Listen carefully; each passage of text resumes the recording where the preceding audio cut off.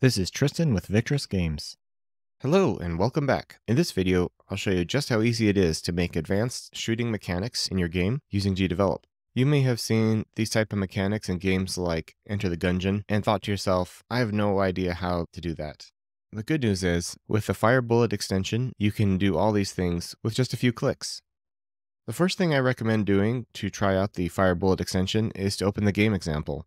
So in GDevelop, if you go to the Build tab and click Show All for recommended templates, search for Fire Bullet, and open this game example. Let's hit the preview button and see what this game looks like. So this example shows you all the various features you can enable and change on this extension. You can control how your bullets are fired, like how fast it is between each shot, how many bullets are shot at once, the arc of the firing, you can add angle variance. This is basically inaccuracy so that you can make your NPCs not always shoot exactly at the player, which is not very realistic and not very fun. If you have more variance, then they basically have very bad aim. Speed variance, this is fun. So if you do like 10 bullets at once, and you want to shoot them like this, some will go faster than others. Kind of makes like a shotgun type effect is what I was going for with this. Ammo, of course, is obvious. You could have unlimited ammo where you'll never run out of shots. Shots per reload. In real life, most weapons have to be reloaded. If you don't have to reload, you can just say zero shots per reload. With three shots per reload, three shots, reload, three shots, reload. And there is automatic reloading, like you just saw, or you can have it so that it will not shoot anymore until you reload. And this, you can use right click for your reload. So you can adjust any of these settings to match your game. There's an overheat mechanism. To get started with overheating, you basically have to set a heat per shot above zero, but you also want to set up one of these cooling things above zero. Otherwise, your, heat will never cool down. In games, you can give your players a choice of how fast they want to shoot. Like they can shoot fast for a little bit of time, but they can't just lay down on the trigger the entire game or their gun will overheat. And then you can set up a penalty for overheating. So this overheat duration, like you can set it to two seconds. And so once the overheat level gets hit, you have to wait for that two seconds before you can shoot again. In addition to all these settings, this extension is also collecting statistics. So we have fired 242 times. We've created 967 bullets. Uh, the reason that these don't match is because a shot fired can be multiple bullets. So if we if we send like 30 bullets out here, the that still counts as one shot. So this is one shot, and if you look at the bullets created, it's growing really fast. 30 per shot. And then, of course, I'm also have a reloads complete a statistic. So this can be useful for at the end of the game to give the player some info about how their game went. Okay, so now you've seen all the options you can do, and seems maybe complex and overwhelming. And if you want to see the code for it, you can click on this main game events, and you can see there's quite a lot of code here. Most of this code is mainly just to enable this user interface, but it doesn't have to be this complex. In fact, I'm going to show you how to build this from scratch. So let's create a new scene. And of course, we have to have a dark background because dark mode is best. Let's add a player object. Let's let's add the red hero. Okay, let's find a projectile. I want to set up a filter so that my pixels are not too small and not too big. Okay, let's try shooting these cars. That sounds hilarious. So this is our player. This is what he's going to be shooting. So to add the Fire Bullet extension, you click on the player that's going to be shooting. Go to Behaviors, Add Behavior, Search New Behaviors. Under here is where you're going to add it to your player. Okay, I've added it, and I've not changed any settings. I'm just going to hit Apply. We'll delete our little convertible there. I'm just going to rename it uh, Bullet, so it's a little more obvious. So for our logic, let's see if we can make it shoot. So we're going to click on um, actions, add action, click on the object with the fire bullet behavior, which is red hero. Fire bullets toward a position or an angle. I'm going to fire towards the mouse. So I'll say position and you have to pick the bullet. Well, this is our bullet object. Okay, so it's created on the player. So the red hero, and I'm going to put on its center, bounding box center X, that basically means it's always going to be the center of the player. It's going to come from the center of the player and it's going to head towards the cursor, which is the mouse. And the speed, we'll just set it at, let's try, I don't know how fast this is.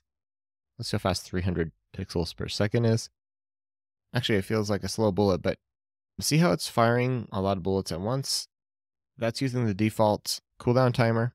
So if you want to shoot a little bit slower, you click on behaviors and you go to firing cooldown in seconds. So it's 0.1. Let's make it shoot 0.3 It's about about three bullets per second. There we go. And these bullets, I'm going to make them move faster. So instead of 300 pixels, we'll do 500 pixels. Cool. Now it looks more like a projectile. Because I have no conditions, this is just going to fire constantly. Let's make it so it only happens while the mouse is pressed. So condition, mouse button pressed, the left button. Now the shooting will only happen while the button's pressed. So I can shoot here, here, here, here. I can hold it down. All right, let's try some more of these features. Let's try the multi-shooting. It currently shoots one bullet at once. Let's shoot five bullets. And the firing arc, 45 degrees. Let's see what that looks like. We'll just leave it at the default. So you can sort of see it's a 45 degree angle is the width of the bullets. And they're all going the same speed and they're all spread out exactly the same. That may be what you want. If you want the inaccuracy, that's called angle variance. We can set that up. Let's shoot 10 degrees. So now when I shoot, now it looks a lot more chaotic. So you can choose what you're looking for in your game. So this is where you're going to find all your settings. We've done multi-fire. I showed you overheat already. Here's the settings for overheat. Reloading. By default, there is no reloading, but you can easily say this is a like a six shooter, like a revolver. You get to shoot six times and then you have to reload, which takes two seconds to reload. Now, if you don't have reload automatically, that means that you're going to need to reload with an action. I'll show you how to do that. So instead of the left button being down, let's use the right button. And we'll do uh, trigger once. So when the right button is down, let's reload. So you just click on the player that has the fire bullet extension and choose reload ammo. Okay, so now we should have six shots. I'm gonna actually change it to so it looks like a, a single shot, a single shot, and we have six shots per reload. It takes two seconds to reload, and then it will not reload automatically. So we're gonna have to use that right click. Let's try it. One, two, three, four, five, six. Okay, it's not doing any more shooting because reloading is not automatic. If I click right click, one, two, there. After I initiated the reload, it took the two seconds. So that's how you do reloading in your game. There's also a setting here to rotate the bullet to match the trajectory. This is enabled by default, but if you are doing pixel art with circular bullets, you may just want to disable this so that your bullets always look beautiful and not skewed. In this case, i am shooting these car bullets, and if I don't rotate them, the up and down shots look kind of goofy. But there are some use cases for where you might want this. Okay, let me just reset this kind of back to defaults. I want to briefly talk about another extension that works really well with this extension. It's called Advanced Projectiles. If we install this one, you can use it to simulate rockets that start with a speed of zero and, and a positive acceleration. Or you can simulate something like a hand grenade where you throw it and it slows down to and stops.